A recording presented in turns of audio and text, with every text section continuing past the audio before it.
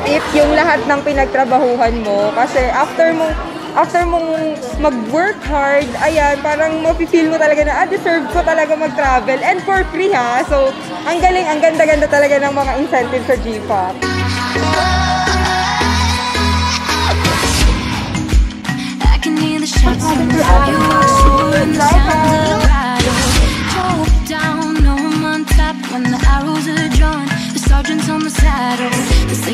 Love that sees a lot of give and take.